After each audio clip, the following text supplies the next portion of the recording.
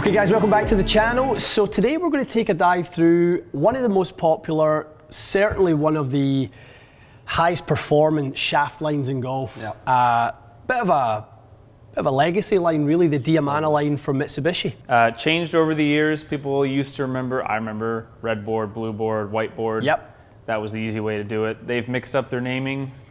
They have. They, little they, have changed it up a little bit, and, and now we're really we're on the fifth generation. Uh, Oh, of, it's that of- many? Okay. Yeah, we've, we've been through uh, a lot. You're right, Matt. I mean, we've had uh, Kai'li's. There, there is a Kai'li line, but there was a Kylie. There was a Hina. There was Mm-hmm. Ilima. There was there was you know yeah many Many. many different versions of this. So um, as materials continue uh, to evolve and and sort of really uh, club head technology evolves, the needs of the shaft, the profiles themselves need to evolve uh, accordingly. So I think a lot in, in the industry talked about right now about Ventus, Yes. red, bla- uh, blue, black. More needs to be talked, in my opinion, about Diamana. Okay. I It think has been all forgotten about it Ventus all the bit. time, hasn't it? Totally, yeah. And then that's obviously Ventus has such a large tour presence, but when we look at the Mitsubishi, you know, uh, the Darrell survey count numbers and stuff like that, there's a lot of these in play, and there's just not a lot of talk about it. I think it's easier to recognize a Ventus on the team. Agreed. They did a good job with that. The Yeah. graphics. Yeah, no, I can't absolutely. tell unless if, if a player's kind of here Yep. and the camera zooms in. Sure, you can see it. You're 100% right. It actually is, as this video goes on, and, and you're doing the uh, the the Diamana MM right now. Um, uh, stands for Mike Martusevich because he absolutely loves it. I was gonna say, am I missing something? I was just gonna say, is that what that says? They're actually talking about renaming it the MM because you love I'm it in. that much. I'm in. Uh, so the, the TB, when you're swinging the TB and the PD, the, the whiteboard version, Yes. you'll actually see them to be looking very, very Ah, similar. yeah. And that might be a flaw. Yeah, That might be a enough. flaw. So, like you said, red is very distinguished, uh, you distinguishable, blue is, and, and obviously black is Yeah. as well. And a sharp eye might spot a TR here and there. Exactly, exactly. So, uh, okay, why don't we dive in there? This is currently the, the kind of, you know, I don't love to throw these uh, these kind of expectations on what the shaft should do, but mid launch, mid spin profile. Right, blue board. Yeah, blue board. Okay.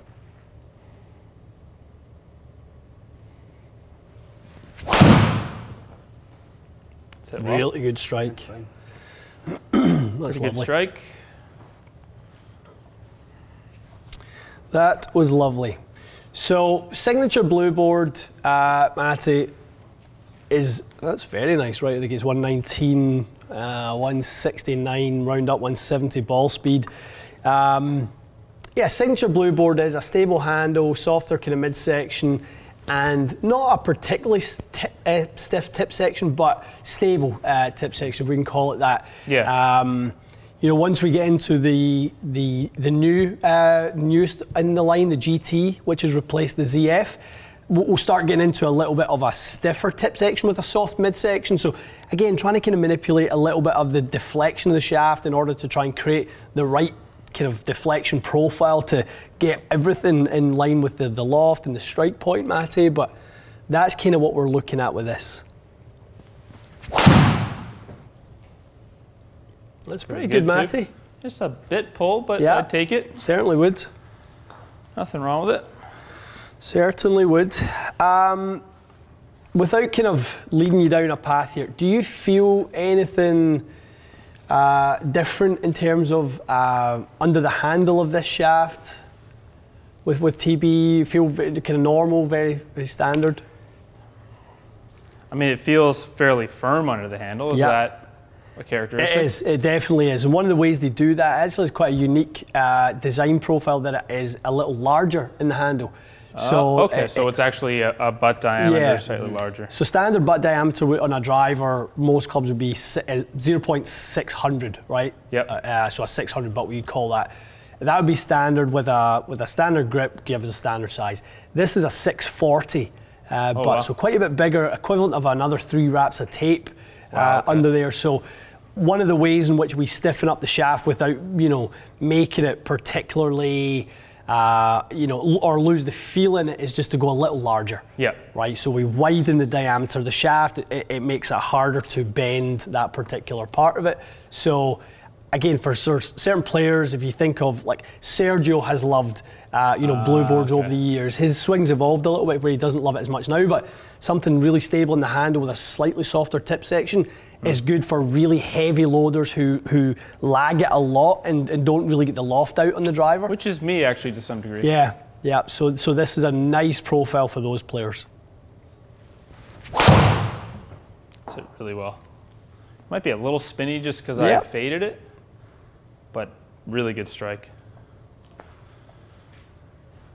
All right, Matty. This uh, this for many people will actually be uh, a first time seeing this one. This It is is, uh, yeah Diamana GT. So the a Diamana ZF that was sort of brought out. I, I mean, I don't think it was specifically brought out for Justin Thomas, but uh, Justin Thomas was playing the fourth generation blue board. Yeah. Um, in his titles for the longest time.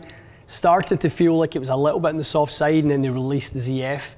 Um, kind of, and he played that one for, for quite some time. Okay. So this is this is the new uh, the new you know version of that. This is the, the GT.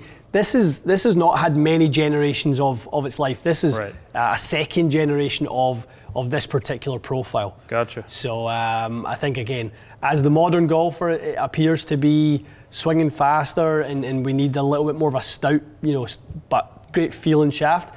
This this kind of wraps all of that up in one. Is it just a little bit stiffer overall than the TB? Mostly tip section. Okay. so similar top end. Similar top ends, similar kind of midsection, and it really is much, much, much more tip stable than TB. So We might see some fly. I would hope so, and, and I think to your, you know, your field preference, Yeah. this was leaning more towards what you'll like.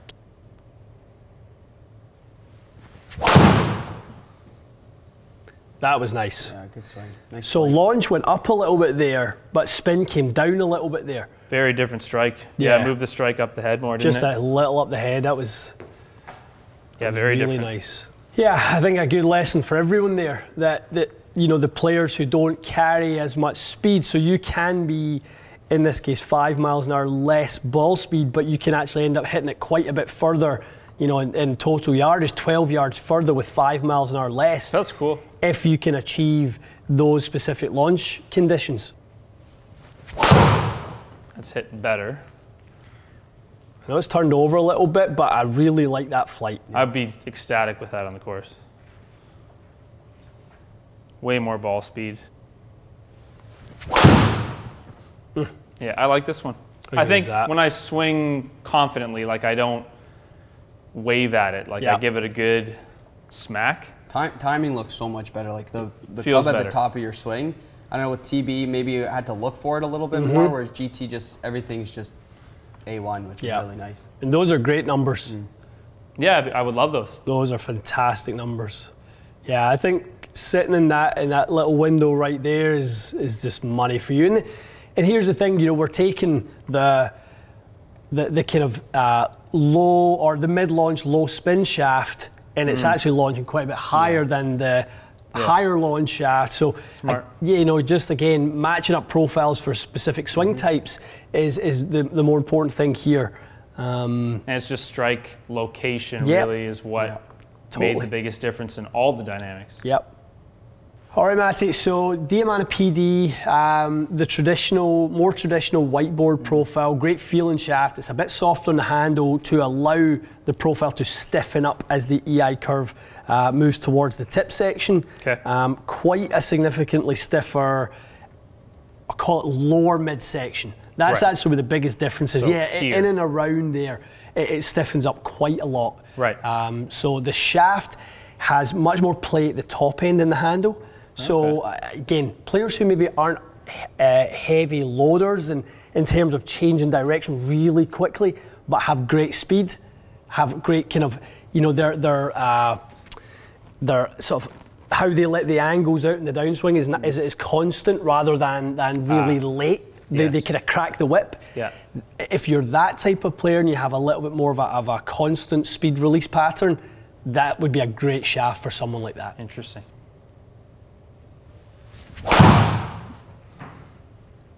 That's came out like a bullet. That's it well.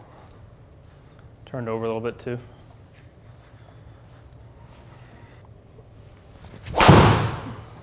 It's nice. That's another That's beauty. Matty boy. Yeah, launch was. I I mean, I think it's just the part of the head you're catching with some of these. It's just right above the equator. It's, Yeah. it's really nice. So you're getting good speed, but this spin is staying down quite a bit. Am I correct that this is launching lower but It is, spinning it lower? is, yeah. It's quite interesting, isn't it? So you kind of had what we felt was, um, you know, should be the highest launching one in the TB, but it wasn't. But it certainly spun up a little bit. Yeah. Uh, and then we had GT, which sat, sat in a lovely window for you, and Yeah. just hard to beat that. And then you've got PD, which is definitely coming out flatter. That's a, Hit that that's a cut one, but it, it's really nice to show that. I mean, you've cut that, but it won't have spiked the spin or. No, it you flew. you- what was that? Probably 24, 2500? 23 and change. Right, perfect. It, it it's a really good. You're right. For what probably would have been a 3,000 spinner with a different shaft, Totally. you can hit a flat cut with this. That's cool. I, I like that they separated it in different ways. I mean, you had more launch, more height from the GT. Mm-hmm. The PD gave you a flatter overall flight, which it's supposed to, Yep. and the TB gave you the highest flight and the lowest strike. So I think uh, you know fitters looking at this. I think this might be not really what the consumer needs to see or hear. But if there are any fitters looking at this and you're working with a player and, and you know the player kind of gives you the, the the indication that they like to see a little bit of loft. Okay. So, uh, from a conference perspective, Yep. you might you know, but you know you need to flatten the flight a little bit, you know, for them. That's where I'd go. Okay, PD is great for you. If they like the loft to be down a little bit, maybe you Ah. go towards the GT. So depending on kind of what head you're working with, you've kind of got great options in there with those three shafts. It's a very good point because I, I, li- I like the look of this head with 10 degrees. It feels great, doesn't it? It feels very friendly. But if you can swing a 10 degree head and get Yeah. 11.5, 2200, I mean, you can't do much better than that, can you? No. You know, this is where you know we get into slightly more of the technical part. You know, for those who are, those of you who are still with us in the video, I mean, Mitsubishi are a vertically vertically integrated company. They make every single material that goes into the shaft. They're the only shaft company in the golf industry that make the resin, make the you know pre-preg. They make everything that goes into the shaft comes from within the Mitsubishi family. That's Right. it's a very rare thing. So the argument would be when you control every ingredient that goes mm-hmm. into the, the meal, Yeah. you can you can make exactly the meal that it is you're trying to make. Yeah. It's a good investment. Yeah, I think you can Totally. be comfortable with buying something that's on the more expensive side, It is. but you know what's going into it. Absolutely. We said it earlier. Ventus has taken over, right? Yep. You know, as fitters, you know, I walk through the bays all the time, and there's, you know, Ventus is always being pulled. Mm-hmm. If you get fit by me, Diamana is always being pulled, but that's a different story. But when you're now that you have done this test, I hope our fitters, you know, watch this one Yeah. because you technically have a Ventus reddish TR, a Ventus blue, and a Ventus Yeah, black yeah, I- I in agree. the TB line, which is nice. So Yeah. Very true. Yeah, Very, good very shafts. true. I was Good, eh? impressed. Yeah, very Yeah. impressed. Hopefully that's covered some of the, the shafts that you were looking at potentially for yourself or, or a product that you were looking at for a driver for next year. The GT, maybe that is your first look of uh, perform in uh, performance in the GT. I think we did hit it in the the TSI 3 versus TSR 3 We video. did, yeah. Um, but we never we never sort of looked specifically at the shaft characteristics that day, so we're, we want to kind of uh, key in on that a little bit. And, and I think with those types of numbers, where the ball speed is good, the launch is up, spin is kind of retained nice and low, and for a lot of people, that's very desirable to, to have that type of high launch, low spin flight. So uh, nice to see its first go around. Yeah, it did great. Okay, stay tuned for more, guys. We will see you again soon.